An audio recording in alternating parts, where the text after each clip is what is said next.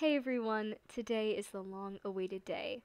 We are bringing my new horse, or should I say horses, home. If you haven't already, make sure to watch my looking for my next eventer video for context. But recently I tried out four horses to find my next new eventing horse that I'm going to be competing on. Now I posted a poll in my community tab and out of the four horses I tried, I got the one with the highest percentage of votes. After careful consideration and with your help, I was able to decide on Buggy because he just checked all the marks for me. But there's a twist. Since I bought Buggy instead of Picasso, it left more room for me in my budget, and I felt comfortable buying a horse that I definitely wasn't thinking of getting, and that horse is Alfie. Now, although Alfie is definitely not eventing material, he is very trustworthy and relaxed, and I got to thinking of how wonderful he would be for some of my advanced beginners in my lesson program here at the Silver Silverglade Equestrian Center.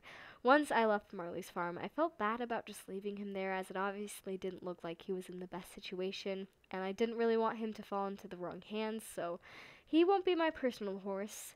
I might even just have him as a project horse and sell him in the future, or who knows, I might even lease him out in the future once he's ready. Um, I'll get into more detail in a bit, but for now I need to drive over to Moorland and Marley's farm to pick each of the boys up. Let's go! Our first stop will be Alfie. When I got there on time, despite telling the owners I'd be there, they were nowhere in sight, so I sent them a text and they told me that they weren't home. Uh, it was a little frustrating, but you gotta roll with the punches. So I asked them if they wanted me to come another time or if I could just pick him up now. And they said I could just pick him up now and they could situate the payments out later. So it was a weird situation, but this is kind of why I wanted to adopt him and give him a better home, hopefully. I found him in the arena and I gave him some cuddles before we had to head to the trailer off to his new home. When I unloaded him, he definitely did perk up a bit to kind of gather his surroundings in. It was really nice to see that because he had been looking a bit lethargic beforehand, and he was probably wondering where in the world he was.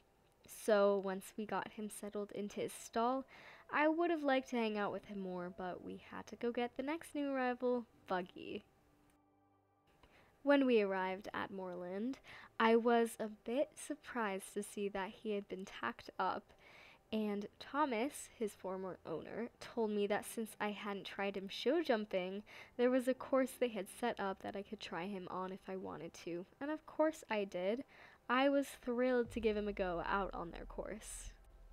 So I did the trot circle before we headed out on the course, and we came up to our first jump really nicely. Um, and he overjumped it so much, kind of sprung me out of my seat a little bit.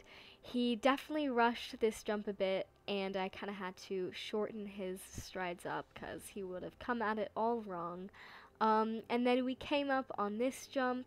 He he did this one really nicely. Um, it was pretty smooth, still way over jumped it. Especially, it's just a little, a little fence. He doesn't need to fly over it. And then we came over this jump, and it was a bit weird. We landed a bit strangely, but overall he was super good. So I cooled him down, untacked him, and we went in the trailer. I was so impressed to see that he loaded very confidently. It was just like that little extra cherry on top. Then we started off on the journey back, which is about 30 minutes to the SEC. We do have a trailer cam, and looking back at this footage, he stood like an absolute angel the entire time. He didn't make a fuss of the whole process once, and didn't kick anything. He was just really good. Once I got him out of the trailer, his ears immediately perked up, and he was again very alert and excitable. He was looking around everywhere and just taking his new surroundings all in. When I was walking him to the stables through the barn, he let out this great big whinny to all the other horses. He was like, There's a new horse in town. They are going to be away from the others just until the vet shows up, which should be in an hour or so.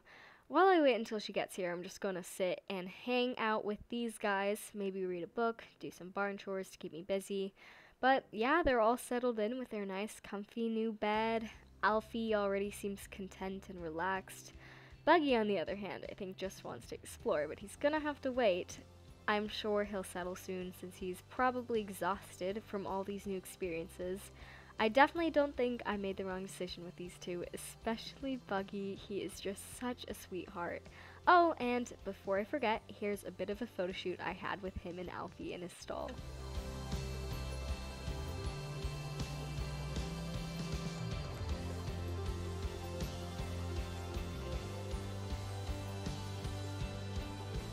Little while later, the vet arrived and she gave both the horses a general basic exam, checking their temperature, teeth, eyes, looking for any swelling or tenderness. Once she finished, she gave Buggy a clean bill of health.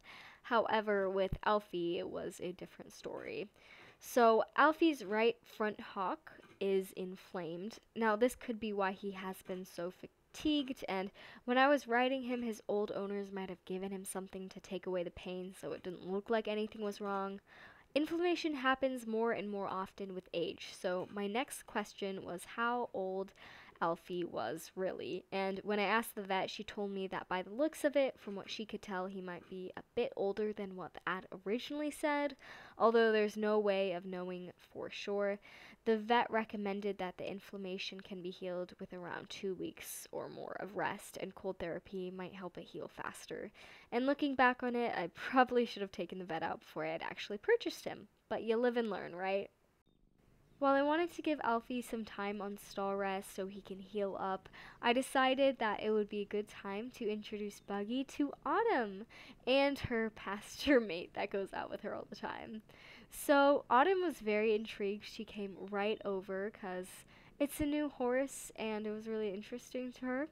So she had it on over and it was really cute. They just, you know, they just hung out with each other and they were like prancing along the fence, kind of trying to play with each other, I think, but they just couldn't quite get to each other. And then her pasture mate came over to see what the heck was going on with this new horse. They all just seemed very intrigued with each other, and no one was pinning their ears. It was just a very laid back first meeting. I am so happy to see that Buggy and Autumn got along well, and after a couple of weeks, and once Buggy settles in, I'll have them interact in the same paddocks for now. You know, it has been a long day for him, and he's had a lot of new experiences shoved at him. I would hate for him to be overwhelmed because there is just too many new things going on, and obviously, I want him to have a positive first first look at his new home. He might be a little high strung with Autumn if I put them together because he could be stressed and there's a new horse and it's exciting. So overall, it just makes the most sense to me as I want him to be as comfortable as possible in his new home.